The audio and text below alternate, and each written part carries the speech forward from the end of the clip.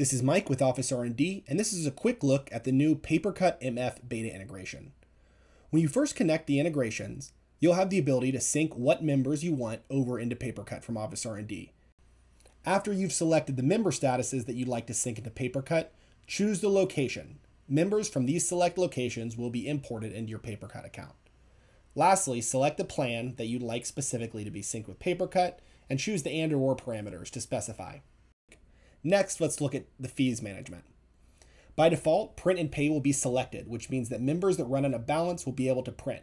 Each print job will generate a new fee in OfficeRnD using a new PaperCut fees plan that we've created for you. You're also able to choose the member balance for credits and printing within PaperCut. You can choose a default printing balance and choose how often those users in PaperCut will get that balance. Finally, at the bottom, we have an option to do not manage printing fees inside OfficeRnD, which will make it so fees inside PaperCut are not transferred to OfficeRnD. Next, let's take a look at what this looks like inside PaperCut.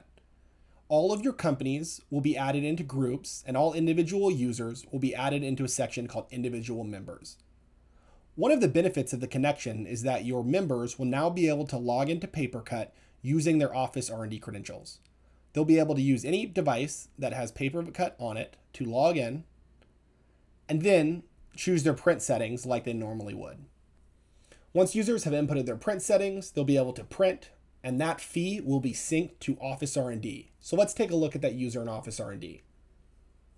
If I go to the specific user and then scroll down to the fees section, I'm able to see that there is a 75 euro fee that has been applied to the account.